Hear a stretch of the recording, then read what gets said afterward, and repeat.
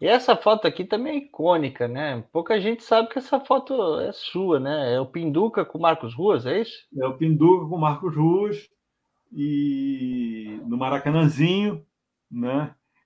Isso eu também já era fotógrafo profissional, né? Tem uma história que é muito engraçada, é que, porra, também, assim, volta do ringue tinha o pessoal da luta livre e o pessoal do jiu-jitsu. E, naturalmente, uma tensão danada, porque isso foi um vale tudo que não era uma coisa comercial, era uma coisa de disputa de acerto né, de, de, contas, acerto de contas, né? Então é... eu chamei um amigo meu, um fotógrafo, né, que é o Ripper, o João Ripper, que é um fotógrafo hoje muito famoso, ele é um cara muito humano, enfim, quem conhece fotografia relaciona o Ripper com a delicadeza dele, né, com todo num processo muito civilizatório, né? Mas, enfim, o Ripper tinha trabalhado no Globo e a gente, a gente tinha uma agência de fotografia juntos, né? Que era F4. E como tinha esse, esse, esse evento, né? E eu quis ver, né? É, eu falei, pô, vou fotografar, né? Enfim, na época, não passava nem na minha cabeça, nem na cabeça de ninguém que isso ia virar tão importante, né? Isso foi só mais um uma coisa que, é, mais uma vez, né, o jiu-jitsu não tinha a dimensão que tem hoje. Né? A gente não tinha noção do que poderia acontecer. Mas, enfim, estou eu fotografando, né? Você vê que eu estou na, em cima do. na, na, na altura do, do, do ringue, do né? Do ringue. Do ringue é. Mas eu peguei uma cadeira, botei ali em cima, né? E, como eu era do grupo, né? Eu estava fotografando, mas eu não era um fotógrafo de jornal, ou um jornal ou um fotógrafo qualquer, eu era o, o, o Azuri, né? Que estava fotografando. Então, porra, eu fiquei ali, fiquei em pé, porra, e uma confusão danada ali, empurra, empurra, de quando tem umas brigas, nego empurrando, porrada. E esse meu amigo ficava muito, depois, né? Ele ficou muito impressionado, que eu, porra, ficava me incomodando, me empurrando, né?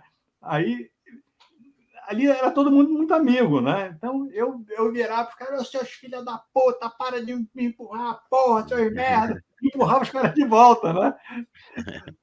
o Ripper, quando acabou, ele falou assim: porra, eu nunca vi ninguém fazer uma coisa dessa. O Ricardo é muito, muito maluco, é muito corajoso. Mas eu estava, eu tava assim, meus amigos estavam me atrapalhando e eu pô, reagia com amigos, né? No, no, se eu estivesse fotografando como um profissional no ambiente desse, eu nunca faria isso, de maneira alguma, porque era um ambiente muito tenso, teve muita briga, né? É, aí, aí ali é o, é o Hélio Vigio, né, como juiz, né? É o Hélio Vigio como Vigio. juiz. E o João Ricardo, aqui tivemos falando com ele há um tempo atrás, aqui é, agora, né? Esse, esse clique teu aqui é icônico, porque é icônico, é icônico. existe muita reclamação do Marco Ruas perante o juiz, e você vê a interferência dele aqui, e o, o, o, técnico do Marco Ruas dentro do ringue, com os é. braços abertos. Falei, João Ricardo, o mestre João tá Ricardo. acontecendo aqui, né? Então, assim, é, e a galera. É, é um, é um galera, universo, é um universo quase surreal, né? E olha aqui, ó, todo mundo com as mãos em cima do ringue, aqui, ó. É, não. Tá não, é dentro é, do ringue. Já tinha, o, o gongo já tinha batido, cara, e eles estavam brigando, não estavam lutando. Ninguém tem luva, ninguém tem nada, era porradaria, né? E, e o, o Hélio Vijo também tem um, um, clássico, você já deve ter ouvido isso também, porque você é público, né? Não Sim. com essa luta, né? Que essa luta ele está reclamando porque, como o Pinduca estava em cima, o nego deixou correr, né? E você vê, o, o Vijo está tirando o Pinduca de cima, né? É, é sim. E, Para, enfim, deu, né? deu. Sou o ringue. É, o gongo. É, já tinha suado o gongo, pô, a gritaria. E na luta do, Mar, do, do Márcio Bering com. Marcelo, com, do Marcelo, é. Do Marcelo Bering com. com que morreu também, como é que é o nome dele? O, o Flávio. O Flávio Molina. Molina é, né? Flávio Molina. Essa, porra, o, o Marcelo bateu muito, né? E o Corner, não sei se era esse cara, eu não conhecia ele, jogou a toalha, né? Porque o Marcelo estava bombardeando o, o, o Molina já né, montado, dando porrada. O, o cara jogou a toalha, o Hélio Visto pegou a toalha e limpou o rosto. E jogou de volta, né? Jogou, ele de, jogou volta. de volta. Ele jogou o rosto, jogou de volta, deixou o pau cantar. É, é não, cara, é uma. E o clima era de, porra, Coliseu Romano, cara. Era um, e era todo mundo que está aí, todo mundo era lutador, ou de jiu-jitsu ou de luta livre.